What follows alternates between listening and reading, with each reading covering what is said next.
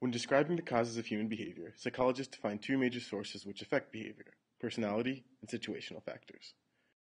While previous work has modeled personality in crowd simulations, we propose an approach which also incorporates situational factors to create dynamic behaviors where agents respond to their environment.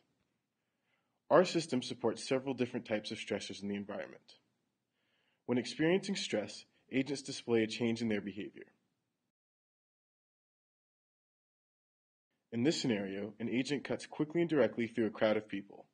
The agent's aggressive path is a result of the stress induced by a monster chasing him.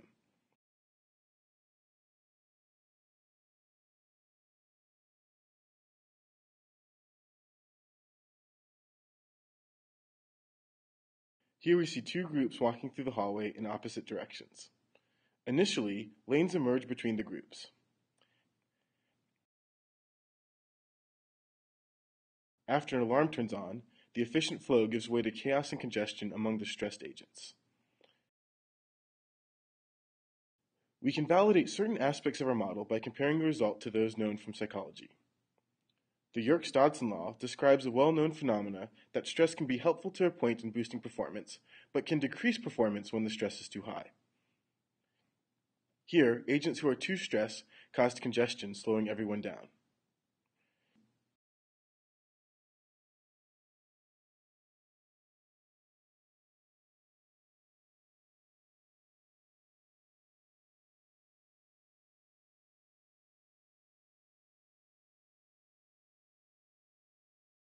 Here we show a quantitative comparison of speeds while crossing a street. Given less and less time to cross the street, the simulated agents respond to this time pressure by speeding up. Their speeds are similar to those of real humans in a similar real-world situation.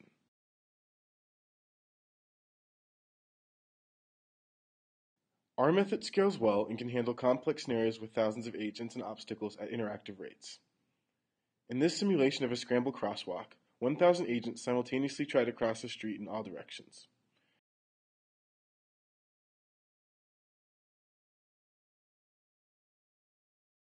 When the walk signal begins flashing, agents experience time pressure and speed up.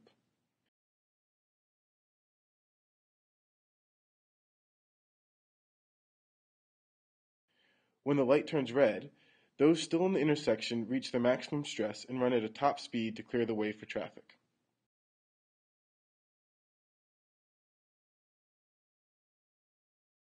Here is a comparison to a similar simulation without stress. Agents fail to show a response to the changing traffic signals.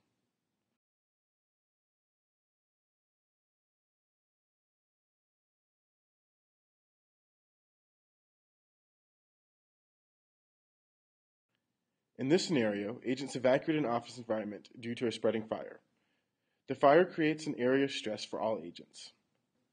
Additionally, some agents, shown in red shirts, experience stress from overcrowding and have a higher level of stress than others. These registered agents push their way through the exit to clear away from the stressful crowds. Again, we show a comparison with and without stress. The stressed agents evacuate faster and more aggressively than agents simulated without stress.